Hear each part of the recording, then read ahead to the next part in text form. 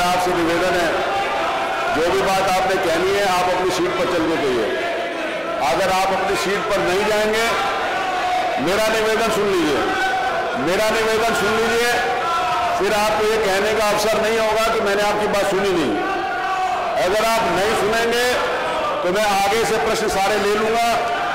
प्रश्न पूरे हो जाने के बाद मैं अगला मत ले लूँगा। और अगला मत लेने के बाद मैं सीरियल से सारे के सारे विधानसभा की आज कार्रवाई ले लूँगा।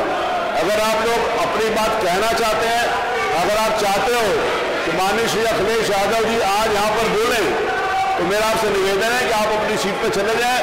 नहीं तो मैं पूरी, पूरा सूची ले लूँगा। और जिन सदस्यों को बोलने का अवसर है, आप उन सदस्यों के अधिकारों के ऊपर भी अतिक्रमण कर रहे हैं। आपको इस बात की इजाज़त नहीं है। मैं इस बात की इजाज़त आपको नहीं देता।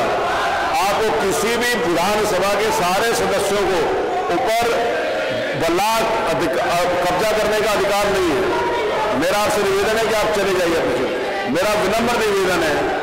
मैं आपसे निवेदन करता हूँ कि आप चले जाइए।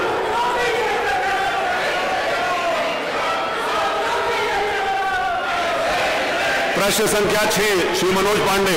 आप पूछना चाहेंगे मनोज पांडे जी? नहीं। मनोज पांडे जी संतुष्ट हैं उत्तर से वो कुछ नहीं पूछना चाहते प्रश्न संख्या सात, श्री महबूब अली। श्री महबूब अली अगर सीट पर जाकर अपना पूरक करना चाहते हैं तो करें। नहीं तो मैं मानूँगा कि जो सरकार से उत्तर आया, उससे वो संतुष्ट हैं। श्री महबूब पांडे संतुष्ट है। उनका उत्तर पढ़ा मान लिया जाए, प्रस्तुत। नथी का प्रश्न संख्या एक, श्री अतुल प्रधान। श्री अतुल प्रधान अगर अपनी बात कहना चाहते हैं, उन्होंने प्रश्न पूछा था। अगर वो अपने प्रश्न का उत्तर चाहते हैं मंत्री जी से तो मेरा उसे निवेदन है कि वहाँ पर चले जाए नहीं मैं आपसे कई बार निवेदन कर चुका हूँ। मैं आगे एजेंडे पे जाऊँगा, एक मिनट भी पीछे नहीं जाऊँगा। मैं एकदम नहीं जाऊँगा पीछे। मैंने आपसे विनम्रता पूर्वक कई बार निवेदन किया है। अगर आप नहीं जाना चाहते, आप नहीं करना चाहते तो पूरा प्रदेश आपको टीवी के माध्यम से, आपको यूट्यूब के माध्यम से देख रहा है कि आप विधानसभा में बात नहीं करना चाहते हो केवल हंगामा करना चाहते हैं, उसकी इजाज़त मैं आपको नहीं दूँगा। शतुल प्रधान नथिका प्रश्न संख्या एक। अतुल प्रधान नहीं पूछना चाहते। श्री मनोज कुमार पांडे, प्रश्न संख्या दो। श्री पंकज मलिक नहीं पूछना चाहते। ठीक है, उसका उत्तर मान लिया जाए कि वो संतुष्ट है। प्रश्न संख्या तीन, श्री अभय सिंह। अगर वो औद्योगिक विकास से संबंधित है, प्रश्न पूछना चाहते हैं तो मेरा फिर उनसे निवेदन है कि आप जा सकते हैं अपनी सीट पर मेरा आपसे निवेदन है कि आप जाने सीट पर अपने बात कहें चलिए, ये इससे भी संतुष्ट है श्री अभय जी, श्री विनोद चतुर्वेदी जी संतुष्ट है। औद्योगिक विकास का संख्या तीन उत्तरित मान लिया गया। प्रश्न संख्या चार, श्री अखिलेश, डॉक्टर संग्राम सिंह। खेल विभाग से संबंधित है, मंत्री जी उत्तर देने के लिए तैयार है। वो उत्तर नहीं लेना चाहते, ये भी उत्तरित मान लिया गया। श्री मोहम्मद फहीम इरफान। मोहम्मद फहीम इरफान, आप पूछना चाहते हैं तो अपनी सीट के ऊपर चलिए। नहीं जाएँगे तो उत्तरित मान लिया जाएगा, मैं आगे बढ़ जाऊँगा। मंत्री जी खड़े हुए हैं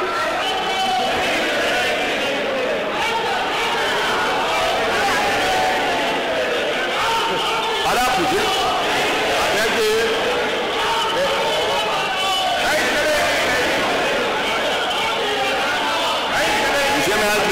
एजेंडा नहीं, मैं किसी भी प्रकार से सदन को स्थगित नहीं करूँगा, पूरा एजेंडा ले लूँगा।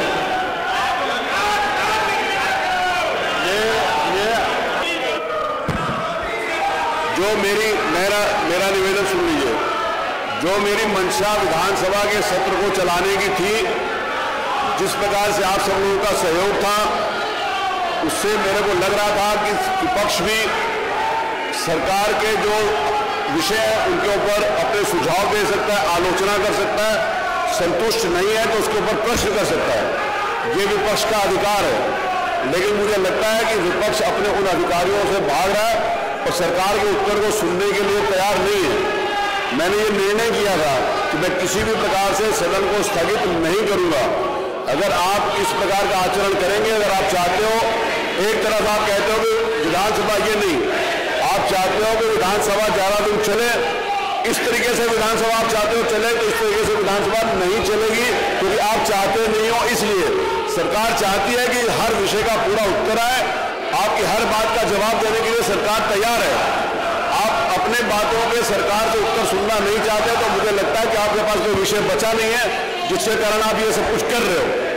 अगर आपके पास कोई विषय नहीं बचा, ये करने के कारण तो ये अनुचित है मैं सदन को क्योंकि मेरा आज, मैं बहुत भारी मन से आज, ये निर्णय ले रहा हूँ, जो मेरे स्वभाव के भी विपरीत है, और मेरी मंशा के भी विपरीत है, और प्रदेश की जन कल्याण के विषयों से भी विपरीत है।